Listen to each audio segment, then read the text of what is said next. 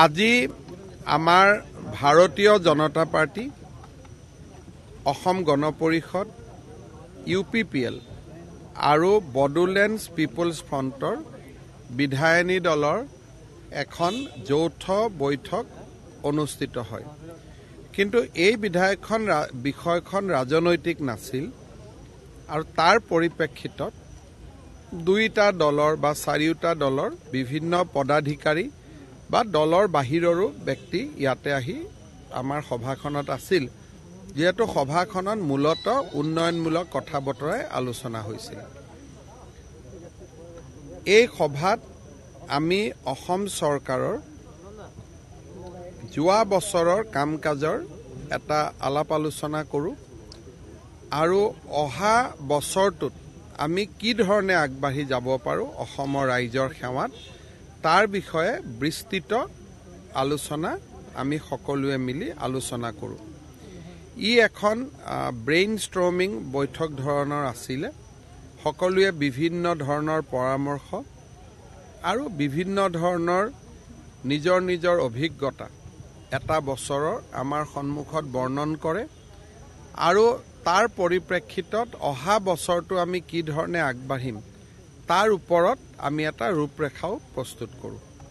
আৰু আজিৰ বৈঠকত মূলত সেইটোৱে আমাৰ লক্ষ্য আছিল আৰু আমি লক্ষ্যটোত আমি সফল হোৱা যেন ধাৰণা হৈছে এই বৈঠকখন আমাৰ নিজৰ ৰোমন্থন আছে। কাৰ্যসূচীলৈ আহিব আৰু তেওঁৰ এটাৰ পিছত এটা প্ৰায় আঠটা কাৰ্যসূচী আছে ন আৰু দহ দিনত। গতিকে সেই সময়ছোৱাত তেখেতক বেলেগ আমনি কৰাৰ কথা নুঠে। আমাৰ যাতে কাৰ্যসূচীবিলাক ভাল কৰি হৈ যায় তাৰ বাবে চেষ্টা থাকিব। আজি আমি গোটেই দিশবিলাক খৰচী মাৰি আলোচনা কৰিলোঁ। কেইটামান বিভাগ আমি পাতিব পৰা নাই। মন্ত্ৰীসকল তেওঁলোকৰ তেনে চাই আজি হেল্থ ডিপাৰ্টমেণ্ট আমি পাতিব পৰা নাই কাৰণ কেশৱ মহন্ত ডাঙৰীয়া উপস্থিত নাই। ইণ্ডাষ্ট্ৰী ডিপাৰ্টমেণ্ট আমি পাতিব পৰা নাই। চন্দ্ৰমোহন পাটোৱাৰী ডাঙৰীয়া উপস্থিত নাই।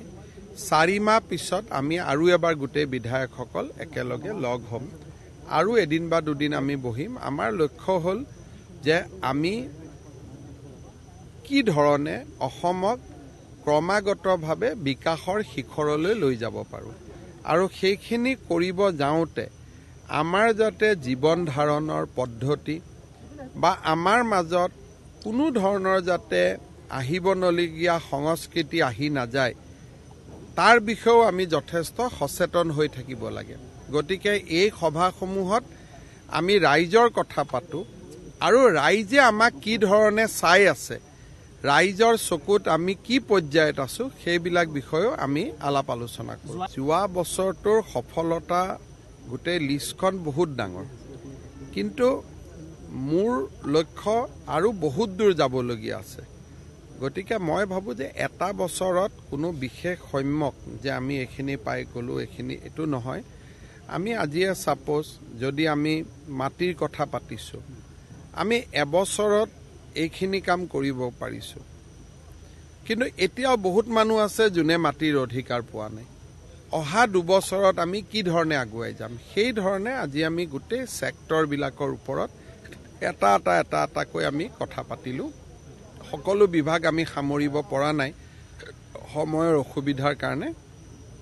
চাৰি মাহ পিছত আমি আকৌ বহিম আৰু এই ধৰণৰ পৰ্যালোচনা আমাৰ নিৰন্তৰ হৈ থাকিব যাতে আমি অসমৰ ৰাইজৰ আশা আকাংক্ষাৰ যিটো মানদণ্ড সেই মানদণ্ডত যাতে আমি উত্তীৰ্ণ হ'ব পাৰোঁ। ঠিক আছে আইতাক লগ পালোঁ আশীৰ্বাদ কৰিলে এটা এইটো এটা প্ৰক্ৰিয়া যদি মানুহৰ লগত মিলিজুলি থাকিব পাৰি সেইটোৱে জীৱনৰ এটা সাফল্য। কামটো কাৰোবাৰ কৰিব পাৰিব কৰিব নোৱাৰিব। কিন্তু অন্ততঃ সম্পৰ্কবিলাক পবিত্ৰ আৰু ভাল হৈ থাকিব ৰাখিব পাৰিলে সেইটোৱে সফলতা আৰু সেইখিনি চেষ্টা সদায় সকলোৱে কৰি থাকিব লাগে। ছাৰ এই বসুন্ধৰা আঁচনি জে জে এমৰ স্কিমে কওক এতিয়া শেহতীয়াকৈ অ- যি অটল অম- অসমৰ এই সৰবৰৰ কথাই কওক সৰবৰৰ বা বাকী P W D roads P W D building এই কথাবিলাক আজি আলোচনা হৈছে বহুতবিলাক সকলোবিলাক আলোচনা হৈছে। জে জে এম আলোচনা হৈছে মিছন বসুন্ধৰা আৰম্ভ হৈছে ৰাস্তা ঘাটৰ কথা আলোচনা হৈছে মাটিৰ বিষয়ে আলোচনা হৈছে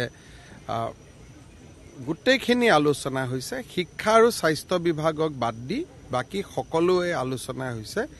শিক্ষা আৰু স্বাস্থ্য বিভাগ বহুত বিশাল। তাৰ কাৰণে এটা দিন আমি হেল্থ আৰু এডুকেশ্যনক লৈ অকলে বহিব লাগিব। চৈধ্য তাৰিখে হ'ব। চৈধ্য তাৰিখে আমাৰ তেইছ হাজাৰ নিযুক্তি হ'ব আৰু ইতিমধ্যে পঁয়ত্ৰিছ হাজাৰ নিযুক্তিৰ আবেদনত প্ৰক্ৰিয়া চলি আছে। সেই পঁয়ত্ৰিছ হাজাৰো এই মাহত আমি এই বছৰত শেষ কৰিব পাৰিম। আৰু পোন্ধৰ বিছ হাজাৰ নিযুক্তিৰ ফলাফল আমি অহা দুমাহত দিব পাৰিম বা এমাহত দিব পাৰিম। গতিকে এক লাখ নোহোৱালৈকে এই প্ৰক্ৰিয়াটো চলি থাকিব। তেখেতসকলে খৰচী মাৰি আলোচনা কৰিছে। আমাৰ ৰাজ্যিক সভাপতি ভৱেশ কলিতা আছে আপোনালোকে সুধিব পাৰিব। আৰু বিশেষকৈ আমাৰ দলটোৱে এতিয়া কাৰ্বি আলং নিৰ্বাচনৰ কাৰণে নিজকে প্ৰস্তুত কৰিছে কেতিয়ালৈ হ'ব তাৰ তাৰিখ ইলেকশ্যন কমিশ্যনে দিব কিন্তু দহ জুনৰ আগততো হ'বই লাগিব এইটো ফাইনেল ডেট হয়। ভূপেন বৰাই কৈছে কাজিৰঙাত পিকনিক খাইছে বুলি কৈছে। পিকনিক টিকনিক ইয়াত কোনেও খোৱা নাই ইয়াতে সকলোৱে বহি কথা বতৰা পাতিছে আৰু এনেকৈ কথা বতৰা মাজে মাজে পাতি থাকিব লাগে। কংগ্ৰেছৰ দিনত কথা বতৰা পতাৰ পৰিৱেশটো নহ'ল কাৰণেই পিছৰ ফালে এটা বেলেগ প্ৰক্ৰিয়া এটা বা প্ৰতিক্ৰিয়া এটা হ'ল আমি সকলোৱে মাজে মাজে বহি পাতি থাকোঁ। ইজনৰ পিছত সিজন কংগ্ৰেছী নেতাই পদত্যাগ কৰিছে। কালি আব্দুল ৰহিম এ, খানে কৰিছে পদত্যাগ। বৰপেটা চাওক প্ৰাক্তন বিধায়ক। আহ, কংগ্ৰেছ দলটো ধৰি ৰখাটোৱেই এতিয়া এটা ডাঙৰ প্ৰত্যাহ্বান। গতিকে কংগ্ৰেছ নেতৃত্ব চাওক জনগাঁথনি মতেতো প্ৰধান বিৰোধী দল বা আমাৰ কম্পিটিশ্যনটো সদায় এ আই ডি এফৰ লগতে থাকিব। কিন্তু এ আই ডি এফে কাৰ লগত কি ৰূপ ধৰি আহে? কেতিয়াবা কংগ্ৰেছৰ লগত লগ ৰূপ ধৰি আহে কেতিয়াবা তৃণমূলৰ লগত আকৌ কংগ্ৰেছৰ লগত। নিৰ্বাচনৰ এবছৰ আগতেহে এইবিলাক কথা ক্লিয়াৰ কৰি বুজা যায়। আজিৰ মুহূৰ্তত যিহেতু সন্মুখত নিৰ্বাচন এতিয়া একো নাই গতিকে বহুত বেছি পলিটিকেল কথা বতৰা আমি পাতা নাই। এতিয়া অকল কাৰ্বি আলঙৰে ইলেকশ্যন আছে। এই মুহূৰ্তত সেই চিন্তা আমি কৰা নাই। আমি কিছুদিন এই টিমটোৱে কাম কৰোঁ কাৰণ কাম আৰম্ভ হৈছেহে। ইয়াত ইয়াত ইয়াত বেলেগ কথা একো নাই কিন্তু এলিভেটেড কৰিডৰটো ভগৱানে কৰিলে হৈ যাব। মই নাজানো কথাটো। আমি গোটেই কথাবিলাক ইয়াত আমি কি আলোচনা কৰিছোঁ যে যোৱা বছৰ যিবিলাক ফাণ্ড দিছোঁ তাৰ আমি ৰিজাল্ট কি দেখুৱাব পাৰিছোঁ।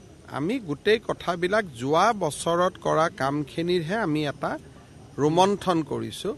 আৰু অহা বছৰৰ কাৰ্যসূচী আৰু অহা বছৰত কিখিনি কৰিম নতুন একো আমি আলোচনা কৰা নাই। যিখিনি বাজেটত অসমৰ ৰাইজে জানাই আছে সেইখিনিকে আমি পাতিছোঁ।